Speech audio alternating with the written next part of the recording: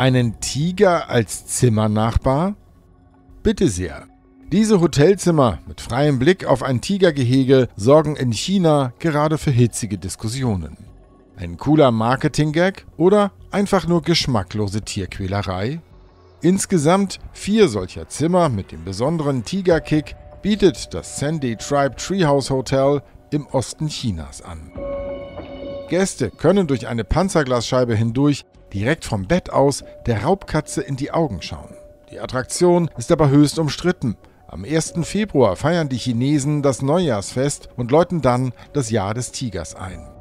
Kritiker sehen in den Hotelzimmern einen reinen Werbegag für das Hotel, das mitten in einem Safari-Park liegt. Die Unterbringung der Tiere in der kargen Mondlandschaft sei nicht artgerecht. Laut lokalen Medienberichten hat sich jetzt sogar die chinesische Regierung eingeschaltet. Es müsse überprüft werden, ob das Panzerglas zwischen Tigergehege und Hotelzimmern den Raubtieren genug Schallschutz bietet.